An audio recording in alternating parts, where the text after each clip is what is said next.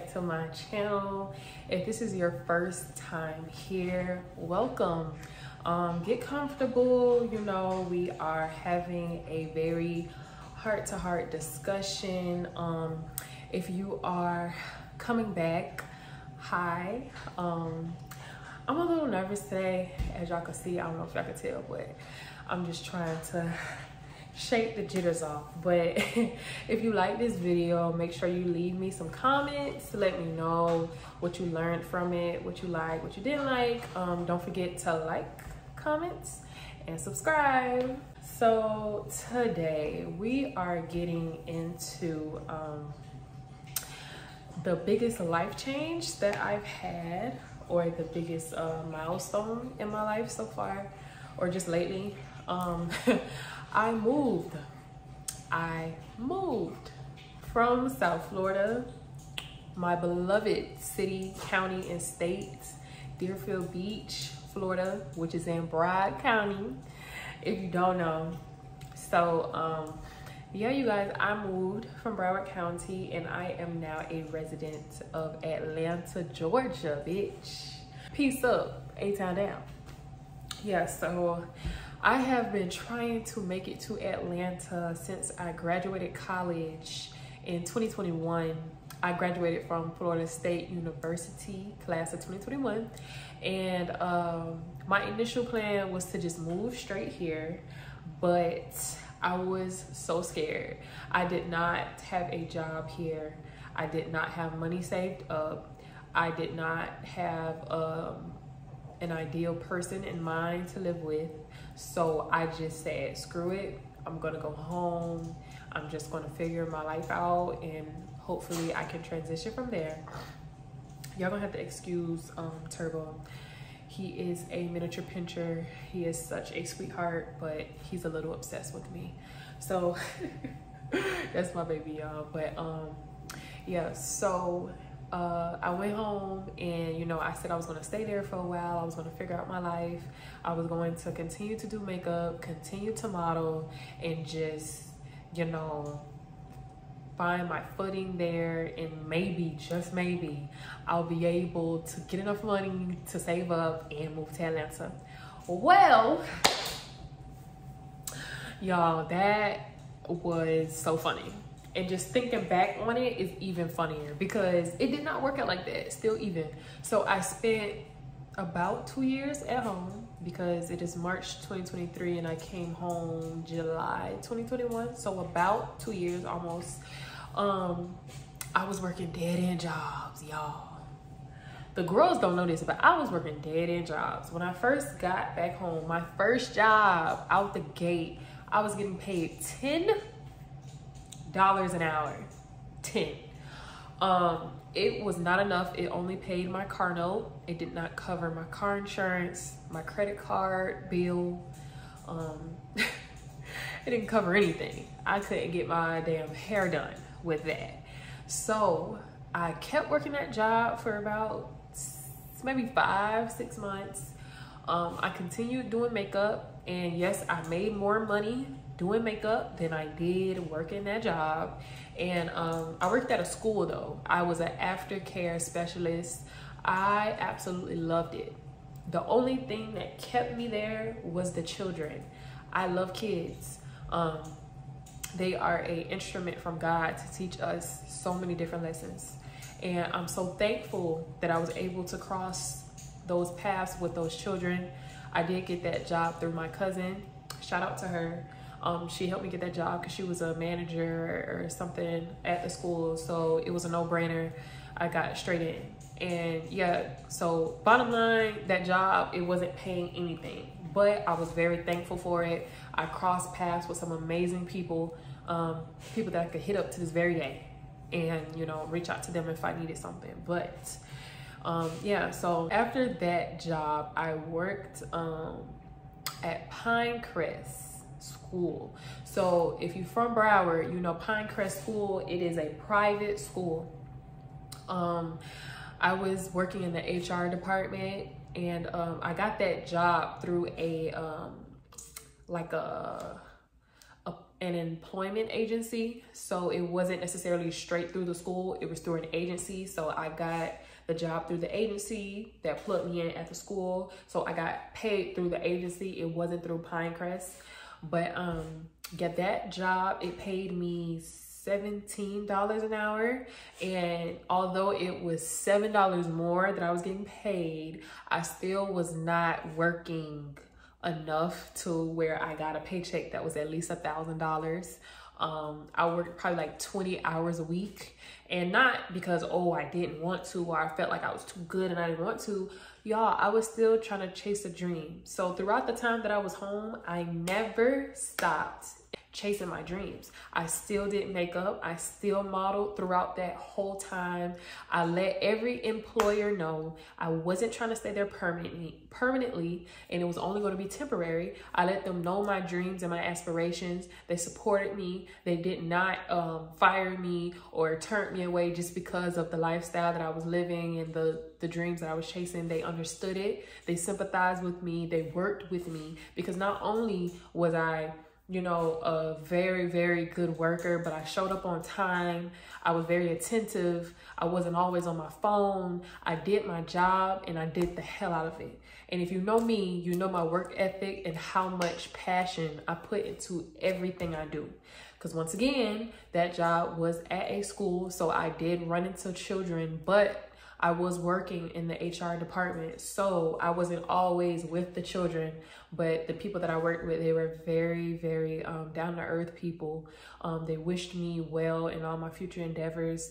They were very patient with me, and you know, they taught me through some, I mean, talked to me through some things. I discovered how bad I had anxiety while I was at that job. And one of the um, people that worked in the department, she used to be a um, therapist before she was um, an HR uh, specialist. So um, me and her, we still have a close connection to this day. So um, I thank God for the people that I cross paths with because they still have a piece in my puzzle, even months and years down the line.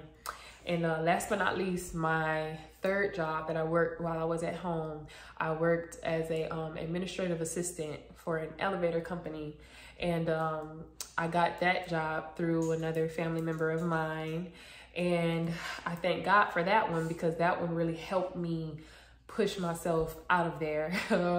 From day one, once I started, once again, I let them know it was temporary. I was not trying to work full time and they knew about what I was trying to do with my business and with my modeling and everything else. So, um, funny thing about that job, it wasn't very strict. Um, I was able to come and go as I please. I did not have a clock in time. I didn't have to clock in. All I had was a timesheet to write down the hours that I was there. And, um, you know, being that my character and my integrity is something that I hold very, very near and dear to my heart. I never cheated on my timesheet or made it seem like I was there for 10 hours when I was only there for six. Um, I was very honest with them and I think they um, they very they cherished that a lot. And um, I never took them for granted because they were um, older or I don't want to say elderly, but they were older. They were like over 50, you know, over 55, you know, so they had a lot of health problems and things like that. But um, they turned into my second family they were like they were like my extended white family. So oh man i went through so much at that job y'all. Oh my god. It's it's crazy sitting here and thinking about it because i had relationship drama going on. Um, my mental health was failing a little. Um, i'm sorry. They really they really helped me through a lot. I got through a lot there and uh, Boy, I tell you, I wouldn't trade my experience for nothing in this world, okay? Okay, y'all, so like I was saying, yeah, I went through a lot of changes, um, a lot of adulting, a lot of growing up, a lot of maturing throughout the duration that I was at that job. And um, man, I did so much when I was there. I started um, selling my makeup brushes while I was there. I did my first pop-up shop when I was there. I walked in um, uh, Miami Swim Week while I was there. It was just crazy because once I started working that job, so many amazing things started working out for me. And I'm just like, wow, they gave me the space to be myself. I was able to be creative. While I was on the clock, I was working for them and working for myself, making my flyers, making my logo, whatever it is, excuse me, that I needed. Um, they just gave me that space, that space that I needed that I was not able to get in those other jobs because it was so demanding. You know, while you're there, you have no other choice but to be doing whatever they need you to do. You feel me? So, um, yeah, man. So, and that job paid me $21 an hour. So I still was not working whole 30 hour weeks. So you do the math. My check only hit a thousand dollars one time. One time, y'all, one time. So I'm saying all this to let y'all know, like, it wasn't about the money. You feel me? Like, thank God, you know, I'm a I'm a kind of, you know, I'm a trendy kind of girl. Like I can figure out things to do with my hair. I know how to do my makeup. I put my shit on how I want to. You get what I'm saying? So it wasn't looking like I was doing bad. I was just doing what I could, you know. Um a lot of people they put so much emphasis on how much a job is paying them and how much is a job is doing this and doing that. But to be completely honest with you, while I was working my jobs and on top of that doing makeup and taking other acting gigs, I was in music videos and all these other things. I was using that money to still invest back into my business and not just my makeup business it was for other things. I may have to go get an outfit for a music video because I didn't have the clothes in my closet. You get what I'm saying? Or I would have to pay a bill and shit, I gotta sit out going out of town this weekend. You get what I'm saying? Like, I sacrificed a lot to get where I am right now. Um, and I just wanted to share that with y'all because I just feel like it's so many young women out here who feel like they have to go and have sex for the things that they want. They got to use a nigga for the things that they want. They have to keep up with a certain, um, I don't know, a certain kind of uh, image to be accepted in places and to feel like they are part of something or a part of a social group when in actuality if you have to try that hard and damn near sell your soul really because that's in hindsight what you're doing. If you feel like you have to do all of that you don't need to be in the in the places in the spaces that you're in honey. You don't. Because it shouldn't it shouldn't take all that. And the the real people that you that you find yourself actually saying like damn these are my people you'll realize it's not that hard to stick around. They don't judge you by what you look like how much money you have and what you do and don't you know, give to them or whatever what you're able to provide them with. Because at the end of the day, if everything is always so transactional, everything is always so what can you do for me, you know, it's not genuine. It's not genuine. But that's a whole nother conversation for another time. But let's fast forward to where I am right now. So I live in East Atlanta right now. Um, I literally just posted on my business page yesterday that I am accepting makeup appointments. Um, I'm, I feel like I finally got my head on straight. All my emotions that I was feeling, all the anxiousness and being afraid and guilt and shame, all that shit out the door right now. You feel me? Um, I came here on a mission. My mission is to follow my dreams and help as many people get to theirs as I possibly can while I'm in the midst of getting mine. Um, I feel like God has put me in this position to teach a lot of people the lessons that I went through so they won't have to go through them. Um, I know I have a lot of influence on younger people. Once again, like I said, I love children teenagers especially they gravitate towards me so i try to do everything i do with purpose and um with the level of uh, what's the word I'm looking for with with the level of uh, I don't know. What I'm trying to say, y'all, is like do it that leaves somewhat of a good taste in people's mouth. Um, I know that I'm an adult and I could do and say as I please, but someone that answers to no one is a dangerous person. But yeah, so yeah, man. So I moved here and um, I'm currently staying with a very, very good friend. So God surprisingly positioned me in a spot where I am loved, I am accepted, I am not judged, and I am given the freedom to be who I am and continue to grow into the woman that I want to be. So I'm very, very thankful for that. Oh my gosh. Um, I'm just, my mind is blown. Let me just say that. My mind is blown because it is so funny when you plan things out to a T and you feel like it's gonna go exactly how you plan, and then God like, funny girl, let me show you what's really about to go down. So this was not a part of the plan, but it was a part of his plan. So for that, I can't ask for anything more. I really can't. And y'all, I'm sorry, y'all gonna have to excuse me. I keep doing all this sniffling because this Atlanta weather has been taking me through the ringer, okay? When I got here, it was 30 degrees outside.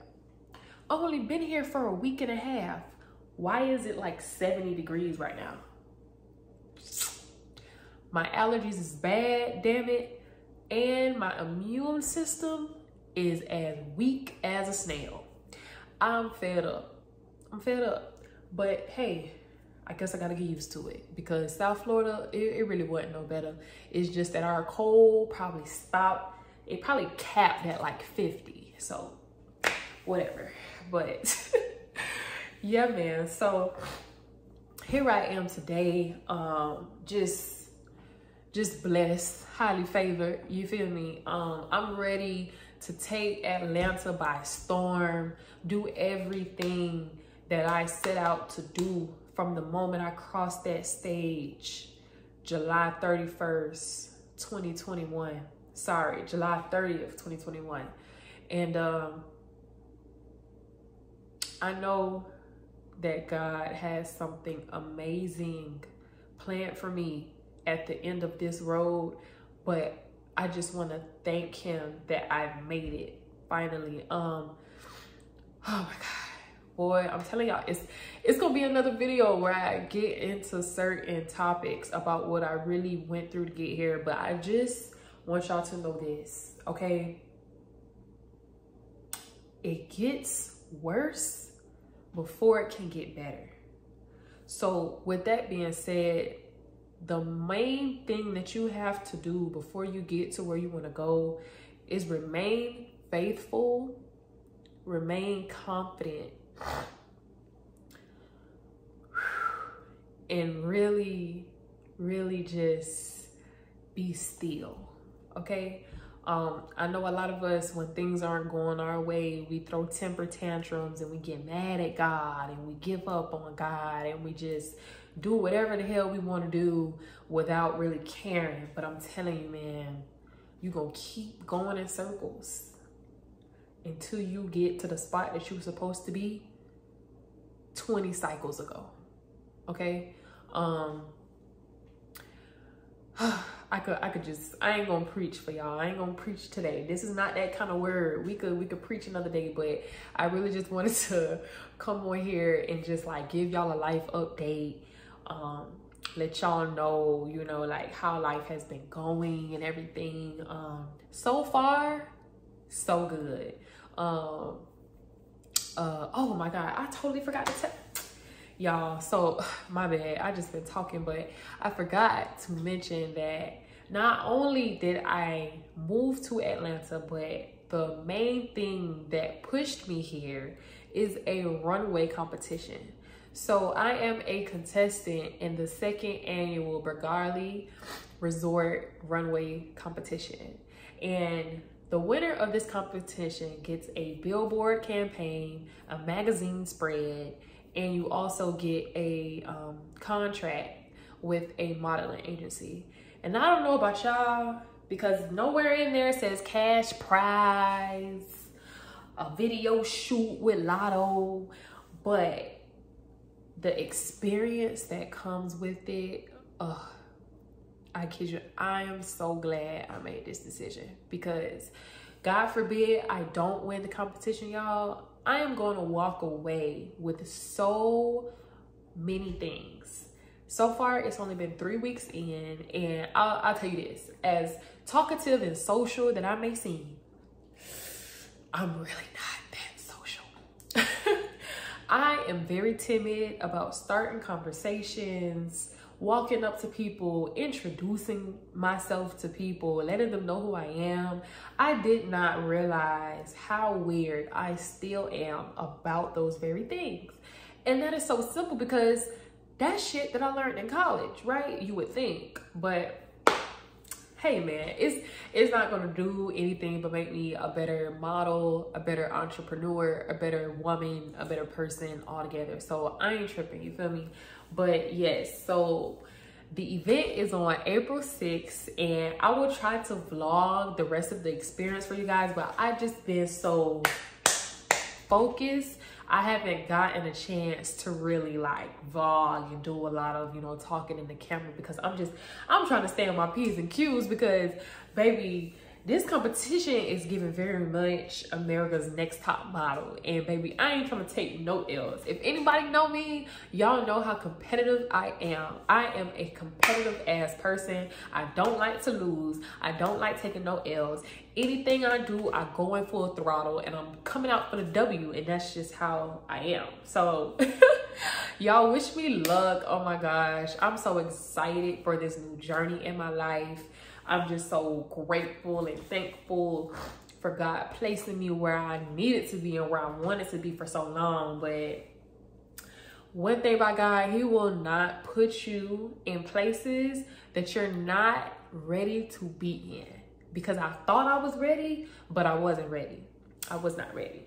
So yeah, man. Um, Thank you guys for watching. If you have watched this far, make sure you guys like, comment, and subscribe. Let me know how you like this video. Let me know what else you want from me. This is my first sit down chit chat with y'all. So you can look forward to some more of them. I'm ready to really just rip off this layer that I've held back for so long and really just show y'all who I am, what I do, what I'm about. And yeah, man. So see you guys next time. God bless.